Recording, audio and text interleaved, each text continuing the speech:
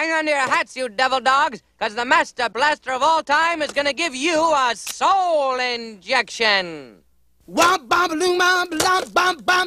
the five spunkiest little characters you've ever met. It's a possibility. For years, they've been waiting Can you see?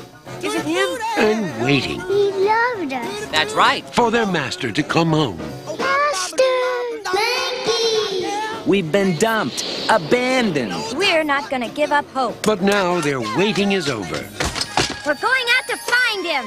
What? We're gonna go out and find the master. Join a brave little toaster and his unusual pals on a magical journey I'm ready. through a world of mystery, Light. I see the light. fantasy, laughter,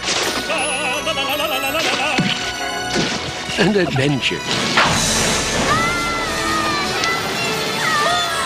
It's an exciting, strange, and fantastic voyage where you'll see scary places, Hey, fellas, look. a whole lot of little creatures, Out of here! a few odd contraptions, But I can't open her lamp and a shaver. and some devices that are simply Remarkable. Yeah.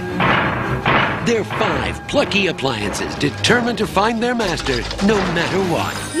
Yeah, no matter what. Join an inquisitive radio, Well, what does that mean? a bright little lamp, I'm glad we don't have to do this every day. a snuggly blanket, Mhm. a crotchety old vacuum cleaner, You're telling me. and a brave little toaster. Time to go. In a heartwarming story for the entire family.